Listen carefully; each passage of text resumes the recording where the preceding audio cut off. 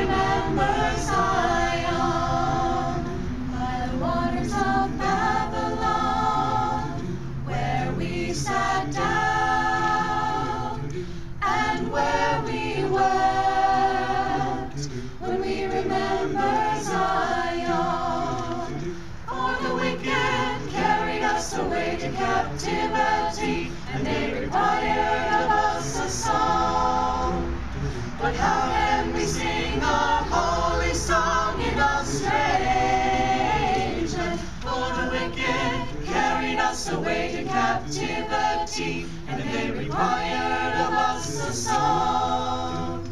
But how can we sing a holy song in a strange land? So let the words of my mouth and the meditations of my heart be acceptable in thy sight, over